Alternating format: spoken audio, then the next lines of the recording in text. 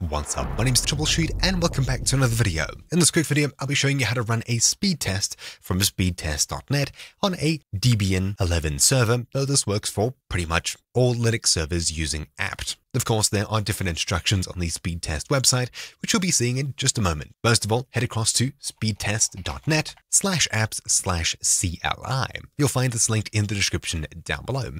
We have the installation instructions here. You'll more than likely be on Ubuntu slash Debian, but you could also be on CentOS Red Hat, FreeBSD, or macOS. So on Ubuntu Debian, you'll see these here. If migrating, run these commands first, and other non-official binaries will conflict with it. So if you've ever tried to install speedtest before, simply remove this as such. Then when you're ready, we'll copy sudo apt-get install curl. I'll paste in the command to run it. Then we'll curl s install speedtest.net sudo bash, paste and enter. Then when it's done installing, you'll be able to run sudo apt-get install speedtest. Then hopefully it'll work. If it doesn't, you'll see something like this. How do we fix this? Well, all we need to do is tell it where to get this from. If you're on Ubuntu, the answer is pretty simple. Just run sudo add apt repository universe and hit enter. But if you're on Debian like me, this won't work for you. Then you'd run sudo apt update and sudo apt install speedtest CLI. For Debian and other distros, however, the simplest thing to do is to install it via Python instead. We can run python-v to see if we have Python installed. If we don't, well, we can run sudo apt install python-pip